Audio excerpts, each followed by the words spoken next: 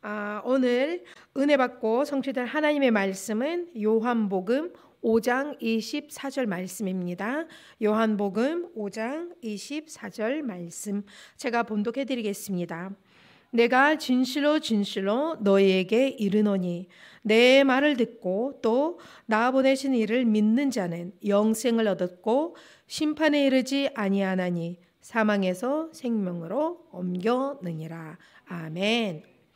아, 오늘 우리가 나눌 말씀은 전도자가 누려야 할 복이라는 말씀입니다. 하나님께서 우리에게 말씀을 매일, 매주, 매달, 매년, 그렇죠? 말씀을 주십니다. 근데 이 말씀을 언약으로 붙잡은 사람만이 그 말씀 성취의 맛을 볼 수 있습니다.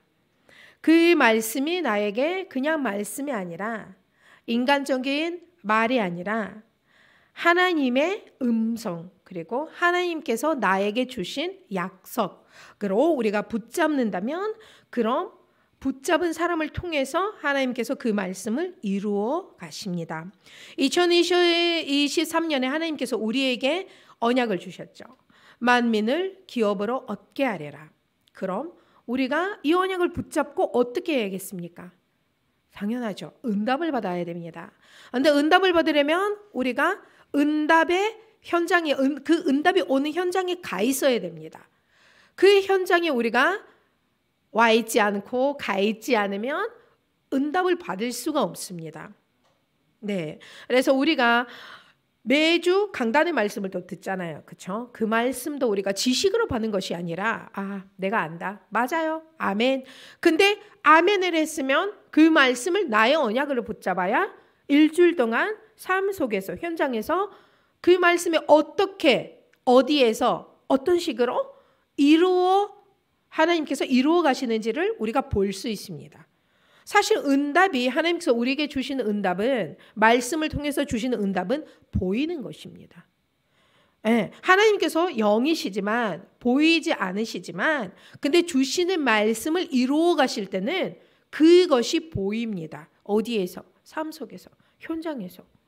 그래서 우리가 정말 말씀을 언약으로 붙잡아야 응답을 받을 수 있습니다.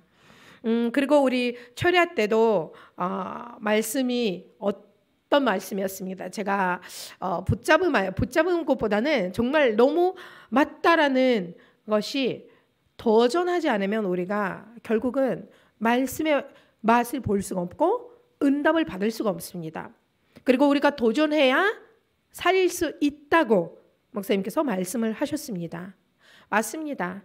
우리가 겨울 이제 방학이 끝나가고 있잖아요. 그렇죠? 이제 며칠 남지 않고 우리 겨울 방학 때 어, TCK 겨울 미래 캠프를 24 아, 시미래 캠프를 진행했었거든요. 교회에서 그것도 교회에서 숙박을 하고 다 했는데 어, 그래서 20명 좀 넘는 티시케들이 같이 근데 나이 또래도 다 달랐어요, 솔직히. 그래서 첫 그게 도전이었고 어, 여러 가지가 좀 있었어요. 방해도 있었고 시험도 있었고 의심도 하, 했고 여러 가지가 있었습니다. 그런 근데 러시아 어 예비국만 진행하는 그 디시케 수련회가 아니라 아, 우리 다민직 위원회 전체 다 같이 이렇게 진행했던 TCK 겨울 캠프였습니다. 그래서 어, 그 캠프를 진행하면서 많은 좀 많은 것들을 보게 됐습니다. 아, 그 캠프가 끝난 다음에 우리 예배국에 어떤 애가 교회 온 지 얼마 안 됐거든요. 그래서 걔가 지금 중학교 1학년인데 갑자기 밤에 우리 TCK 리더한테 문자를 보내는 거예요. 어, 사실 내가 집에 오자마자 일주일을 같이 여기 있었거든요. 그래서 오, 집에 오자마자 엄마한테 나는 원죄, 사단, 예수님, 교회 대해서 얘기를 했다. 그리고 우리 주일 러시아 예배 뭐 메시지를 들어 틀어줬다. 같이 유튜브를 통해서 들었다. 하다가 복음을 이렇게 전할 수는 없으니까 본인이 아는 거를 그냥 얘기하는 거예요. 그거 문자를 쓰는 거예요. 근데 갑자기 엄마가 왠지 우셨다. 왜 우셨는지 나도 모르겠다. 아무튼 나는 너무 행복하다. 그걸 읽으면서 제가 바로 번역해가지고 올렸거든요. 그거를 읽는 사역자들과 중직자들과 눈물이 만나는 거예요. 그 한 명을 통해서 우리가 일주일을 몸으로는 고생했지만 근데 너무 효과가 있고 너무 은혜가 되고 그 한 명을 살리기 위해서 고생은 고생이 아니다. 라는 막 간증들이 나오는 거예요. 포럼을 하면서도 막 은혜가 되는 거예요. 그래서 그런 걸 보면 볼 때는 정말 맞습니다. 도전을 하지 않으면 우리가 살 수가 없습니다. 해보지도 않고 가보지 않은 길을 그냥 안 될 것 같은 느낌으로 아, 하지 말아야지 다음에 해야지 에이 안 돼. 이런 불신앙의 말로 나를 그냥 스톱 시킨다면 그런 응답의 맛을 볼 수가 없습니다. 예. 그래서 금요 철야를 들으면서 맞습니다라는 말씀에 막 아멘 진짜 왜냐하면 도전을 하지 않으면 우리가 정말 어떤 맛인지 알 수가 없습니다. 응답의 자리에 나가지 않으면 우리가 응답을 받을 수가 없습니다. 예배의 자리에 오지 않으면 예배의 맛을 볼 수가 없고 예배가 무엇인지도 알 수가 없습니다. 그래서 우리가 말씀을 들을 때 듣는 것만 아니라 들려줘야 됩니다. 솔직히. 말씀이 들려줘야 그때 은혜가 임하고 그때서야 내가 붙잡고 도전할 수 있습니다. 듣는 거는 듣는 거는 지식으로 끝나거든요. 근데 우리가 말씀을 듣고 지식으로 안다고 해가지고 구원을 받지는 못하거든요. 들려줘야 그때가 역사가 일어납니다. 그래서 우리가 귀신도 말씀을 솔직히 알잖아요. 그리스도를 알잖아요. 근데 그거 가지고 구원을 못 받잖아요. 똑같아요. 교인이 말씀을 들어도 지식으로 알아요. 들리지 않으면 결국은 그것으로 우리가 승리를 못 해요. 예배 성공을 못 해요. 그래서 우리가 첫 번째 전도자가 제목처럼 그쵸? 누려야 할 복이 첫 번째가 무엇이겠습니까? 그 복이 바로 그리스도입니다. 그리스도입니다. 하나님은 누구십니까? 하나님은 창조주 하나님이십니다. 천지 만물을 창조하시고 그리고 인간을 지으신 분입니다. 자기 형상으로 사람을 창조하셨습니다. 그럼 사람이 누구십니까? 사람은 피조물입니다. 하나님의 형상대로 지음을 받는 받은 피조물입니다. 하나님께서 사람을 만드신 이유가 있지 않습니까? 영광을 받으시기 위해서. 그렇죠? 근데 하나님만 영광을 받으시니까 배 아픈 존재가 있습니다. 그의 존재가 바로 사단입니다. 어떤 사람은 아니 왜 하나님이 사단을 지어 만들어 가지고 이렇게 고생을 시키냐? 사실은 아시잖아요. 사람 먼저 사단이 먼저 있었어요. 천사를 먼저 하나님께서 만드셨고 그 천사가 타락한 천사가 사단이 됐습니다. 그렇죠? 그래서 그 사단이 사람을 범죄를 타락을 하게끔 이렇게 밀어준 거예요. 어떻게 죄를 갖다 놨어요 사람 앞에. 근데 사람을 결국은 그 죄를 지을 수가 있었고 지, 짓지 않을 수가 있었습니다. 근데 사람은 결국은 범죄를 합니다. 죄를 짓습니다. 그래서 죄의 삭은 죽음이라고 기록되어 있습니다. 그래서 사람이 죽었습니다. 영적으로 죽었고 육신적으로도 죽어갑니다. 근데 해결책은 하나밖에 없습니다. 무엇이겠습니까? 그리스도입니다. 성경 맞습니다. 성경이 하나님의 말씀입니다. 근데 성경책이 아닙니다. 해결책. 해결책이 성경 이 책에 성경책에 기록되어 있는 예언되어 있는 성취되어 있는 말씀 바로 그리스도이십니다. 오직 그리스도만 그 유일한 해결책입니다. 방법은 하나밖에 없습니다. 요한복음 1장 12절 말씀 영접. 우리가 그리스도를 영접해야만이 구원을 받습니다. 해방을 받습니다. 영접 안다고 해가지고 구원을 받지 않습니다. 영접을 해야 됩니다. 입으로 시인을 해, 시인을 해야 됩니다. 마음으로 믿어줘야 됩니다. 그래야 우리가 생명을 얻고 구원을 받는 것입니다. 그래서 우리가 구원을 받았기 때문에 사명이 있습니다. 그 사명이 바로 오늘 본문 말씀 요한복음 5장 24절 말씀입니다. 그리스도를 믿는 자는 영생을 얻었잖아요. 그렇죠? 영생을 얻은 사람은 하나님을 만났다, 만났다라는 증거입니다. 그리고 사망에 이르지 않고 오히려 어떻게 사망에서 생명으로 옮겨졌다고 기록되어 있습니다. 그리고 우리가 영원한 생명을 얻었기 때문에 이젠 마귀, 사단, 권세 아래 있는 사람이 아니라 마귀, 사단, 권세를 깨뜨리신 그리스도의 권세를 가진 자들입니다. 그래서 이 복음을 우리가 이제 누리고 이 복음을 두 번째 우리의 누려야 될 복, 복이 무엇입니까? 사명입니다. 우리가 받은 이 복음 그리스도를 먼저 누리고 지식을 아니라 정말 사실대로 누리고 누린다는 말은 매일매일 체험하면서 매일매일 적용하면서 우리가 이젠 사명을 감당해야 됩니다. 사명이 어렵진 않, 습니다 여러분 다 아시는 성경 구절입니다. 마태복음 28장 16절에서 20절 말씀. 예수님께서 뭐라고 말씀하십니까? 하늘과 땅의 모든 권세를 내게 주셨으니 그리고 너희는 이젠 가서 모든 민족을 제자로 삼으라. 그리고 볼지어다 내가 세상 끝날까지 너희와 항상 함께 하시겠다고 약속하십니다. 마가복음 3장 13절에서 15절 말씀에는요. 원하는 자들을 먼저 부르셨습니다. 예수님께서 열두 그쵸? 사도를 부르셨고 그들을 세우셨잖아요. 그리고 함께 있게 하시고 그리고 또 전도도 하며 귀신을 내쫓는 권능도 가지게 하려 하심이라. 그리고 마가복음 16장 15절에서 20절 말씀 만민에게 복음을 전파하라. 그리고 내 이름으로 귀신을 쫓아내며 그리고 아, 보좌에 계신 주님께서 함께 역사하사 이렇게 기록되어 있습니다. 그리고 사도행전 1장 8절 성령이 임하시면 그것이 함께 하시면 성령이 임하시면 그것이 함께 하시면 권능을 받고 땅 끝까지 내 증인이 되리라고 말씀하셨습니다. 맞습니다.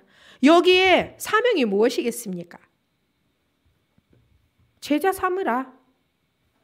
그리고 복음을 전파하라. 만민이, 만민에게 가서 복음을 전파하라. 전도도 하게 하겠다. 전도도 하며 그게 사명입니다. 내 증인이 되리라 사명입니다. 그렇죠? 근데 전도가 뭐라고 생각하십니까? 전도는 우리가 가서 교회 와라. 예수가 그리스도 맞습니다.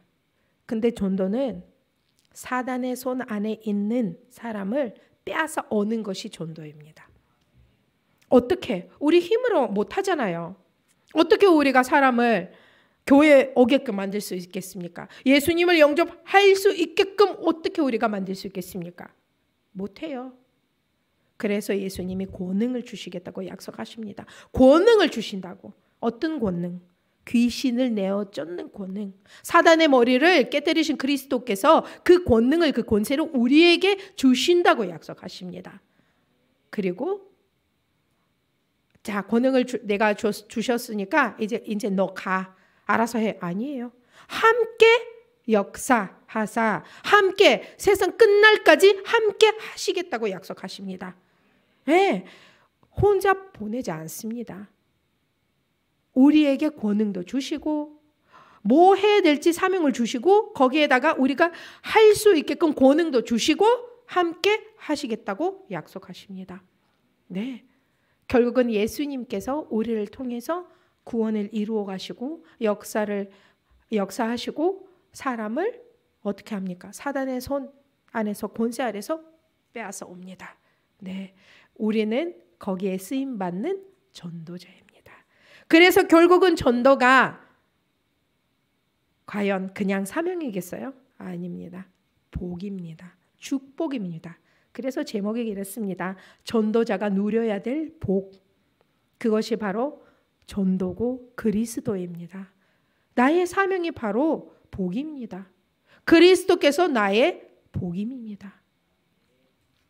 그래서 전도하는 사람에게 하나님께서 권세, 능력, 권능을 주시겠다고 약속하셨습니다. 우리는 믿기만 하면 됩니다.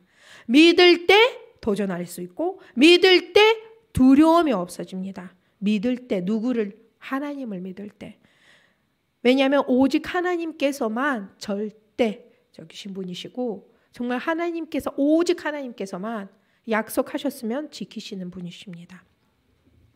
그럼 우리가 어떻게 해야겠습니까? 기도부터 시작해야 됩니다. 기도부터. 행동으로는 전도 바로 나가가지고 물론 하는 사람도 있겠지만 그렇게 못하는 사람들 대부분이에요. 어려워합니다. 어떻게 해야 될지를 모릅니다. 근데 기도는 다 할 수 있잖아요. 그렇죠? 기도부터 시작합시다. 기도부터 시작하세요. 주일 강단 메시지도 그랬습니다. 기도, 영적 싸움부터 시작해야 됩니다. 우리가 기도부터 시작해야 됩니다. 근데 기도까지 내가 못한다 한다면 그럼 굶으세요. 왜 밥을 못 먹는다고 하지 않으세요? 힘들다고 하지 않으세요? 기도부터 시작하세요. 기도는 정말 내가 해야 됩니다. 그렇죠? 전도는 오케이. 안 될 수도 있습니다. 근데 기도는 그건 아닙니다. 기도는 내가 시작을 할 수 있어야 됩니다. 그래야 시작하기만 하면 성령님께서 역사하실 수밖에 없습니다. 예. 그래서 우리가 기도부터 시작해야 그때서야 사단의 권세가 무너지고 귀신이 떠나가고 전도가 되어지는 사실을 볼 수가 있습니다. 왠지 아세요? 내가 가는 전도가 있고 사람이 오는 전도가 있습니다. 예, 사람이 와요. 전화가 와요. 사람이 보여요. 기도를 한다면. 예, 기도를 한다면 그렇게 되어집니다. 그래서 전도를 우리가 강요하지는 않지만 근데 기도는 강요합니다. 기도는 해야 됩니다. 기도를 놓치면 우리가 어떻게 말씀을 말씀을 말씀이 성취되는 걸 볼 수 있겠습니까? 음, 그래서 우리가 기도부터 시작을 해야 합니다. 아니 결론적으로는 내가 먼저 복음을 누려야 그리스도를 내가 먼저 누려야 참 평안을 얻을 수 있습니다. 먼저 나 자신이 이 복음을 이제 머리 이 속에서 이쪽으로 내려줘야 됩니다. 내려와야 됩니다. 예. 여기에서 우러나야지 여기에서 우러나면 안 됩니다. 여기에서 우리가 사역 모든 것을 가슴으로 하는 겁니다. 지식으로 하는 것이 아닙니다. 지, 결국은 지식을 하면 머리를 굴린다라는 말밖에 안 나옵니다. 가슴을 하는 거는 내가 이게 안 맞아도 어떻게 될지 몰라도 가슴으로 하는 사역은 되어지는 사역입니다. 가슴으로 하는 전도는 되어지는 전도입니다. 그 누가 뭐래도 어떤 상황 속에 있어도 상관없습니다. 그래서 우리가 살아가면서 많은 사람을 만나잖아요. 그 사람들 중에 우리가 제자를 찾아야 됩니다. 정말 제자화. 그래서 70 그쵸? 제자 70 나라, 70 지역 계속 메시지가 나오긴 하지만 근데 정말 내가 있는 그 현장에 그 수많은 사람을 만나는 중에 분명히 제자가 있습니다. 기도할 때 보이고. 그래서 우리가 일할 때 일을 해야죠. 그쵸? 우리가 육신이라 먹고 살아야 되니까. 그래서 우리가 그 일을 하되 무엇을 위해서 합니까? 공부를 하되 무엇을 위해서 공부를 합니까?